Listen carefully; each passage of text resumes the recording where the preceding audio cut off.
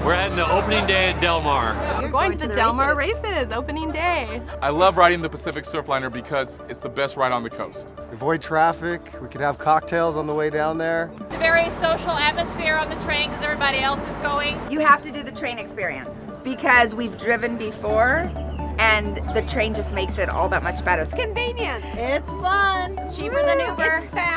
Too much traffic getting in and out. It's a lot easier to do this. The traffic that we were passing on the way down was at a standstill as far north as probably the middle of Oceanside, uh, and so this is totally worth it. They have this convenient bus service, and it's so easy to get from the station to the track. Let's feel like it's 1920s again. You know, get dolled up, get dressed up, take that train down, have a cocktail. It's a much safer way to come back home. We got to converse, we got to enjoy the ocean. It was just a very fun, great experience. Definitely would do it again.